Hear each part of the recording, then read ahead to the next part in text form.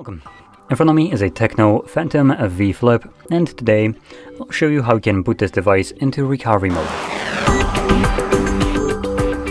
To get started, you will want to hold your power button and once the boot options show up, select power off. Wait for the device to turn off and once that happens, hold power button and volume up at the same time.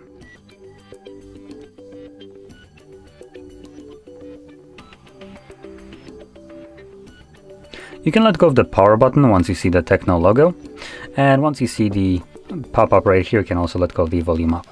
Now, uh, to get past the screen, we're gonna now start holding power button and press volume up once, and this will then redirect us to the recovery mode.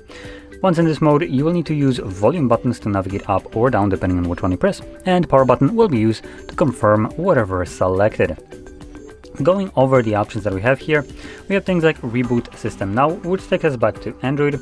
We have Reboot to Bootloader and Enter Fastboot mode. Both of those take you to Fastboot mode.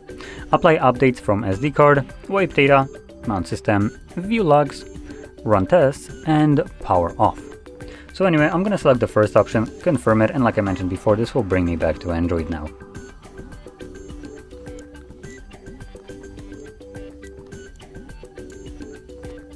And as you can see, we are now back in Android.